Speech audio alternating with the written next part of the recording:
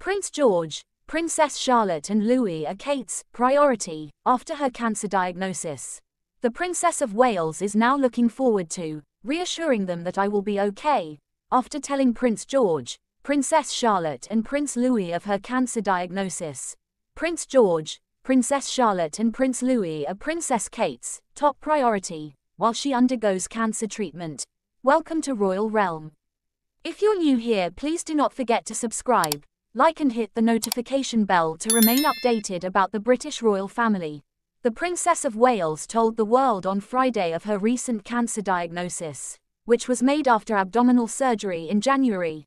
In a statement, the 42-year-old thanked the public for their support in the months following her original procedure, but after learning she had cancer, she made her children her top priority. Speaking on Friday evening, Princess Kate explained that although her original surgery was successful, tests after the operation found the presence of cancer. Princess Kate continued to address her children. This has of course been a huge shock, and William and I are doing everything we can to address and manage this matter privately for the sake of our little family. As you can imagine, this has taken time. It has taken me time to recover from major surgery in order to begin my treatment.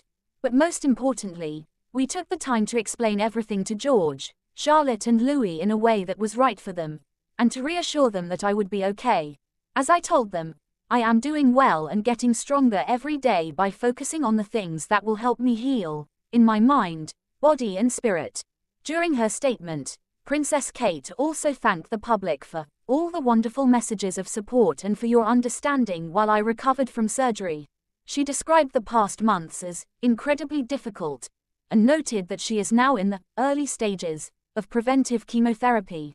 This news comes after Princess Kate's father in law, King Charles III, continues his recovery from prostate cancer. Kate added, Having William by my side is a great source of comfort and reassurance too. As is the love, support, and kindness shown by so many of you. It means so much to us. Thanks for watching till the end.